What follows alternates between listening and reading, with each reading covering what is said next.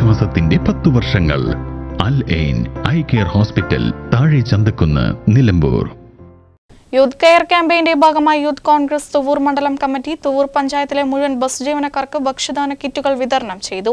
നീലാഞ്ചേരിയിൽ നടന്ന ചടങ്ങിൽ A P Anilkumar M L A വിതരണോദ്ഘാടനം ചെയ്തു.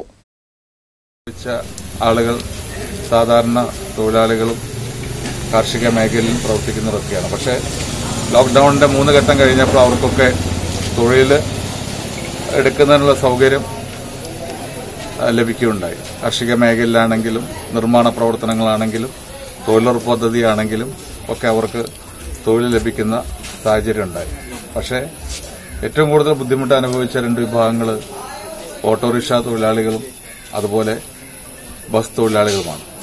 ഓട്ടോറിക്ഷ തൊഴിലാളികളെ സംബന്ധിച്ചിടത്തോളം കഴിഞ്ഞ രണ്ടാഴ്ച മുമ്പ് അവർക്കും ഓട്ടോറിക്ഷ ഓടിക്കാനുള്ള അനുവാദം ലഭിച്ചു. അതുകൊണ്ട് കുറേ പ്രയാസങ്ങൾ പൂർണതോതിൽ ഓട്ടോ ഒന്നും ലഭിക്കുന്നില്ലെങ്കിൽ പോലും കുറേയേറെ തൊഴിലിന്റെ ഭാഗമായിട്ട് മുന്നോട്ട് പോകാൻ കഴിയുന്നുണ്ട്. പക്ഷെ ഇപ്പോഴും യഥാർത്ഥത്തിൽ പ്രയാസം അനുഭവിക്കുന്നത് ബസ് തൊഴിലാളികളാണ് എന്നുള്ള കാര്യത്തിൽ യാതൊരു സംശയമില്ല ലോക്ഡൌണിനെ തുടർന്ന് കൂടുതൽ പ്രയാസം നേരിടുന്ന തുവൂർ പഞ്ചായത്തിലെ നൂറ് ബസ് ജീവനക്കാർക്കാണ് യൂത്ത് കോൺഗ്രസ് മണ്ഡലം കമ്മിറ്റി ഭക്ഷ്യദാന കിറ്റുകൾ വിതരണം ചെയ്തത്. മറ്റുള്ള തൊഴിലാളി വിഭാഗങ്ങൾക്ക് വിവിധ സംഘടനകളുടെ നേതൃത്വത്തിൽ അവശ്യവസ്തുക്കൾ ലഭിച്ചപ്പോഴും ബസ് ജീവനക്കാർ പലപ്പോഴും അവഗണിക്കപ്പെട്ട നിലയിലാണ്. ഇതേ തുടർന്നാണ് ബസ് തൊഴിലാളികൾക്ക് യൂത്ത് കെയറിന്റെ ഭാഗമായി കിറ്റുകൾ നൽകാൻ യൂത്ത് കോൺഗ്രസ് മണ്ഡലം കമ്മിറ്റി തീരുമാനിച്ചത്.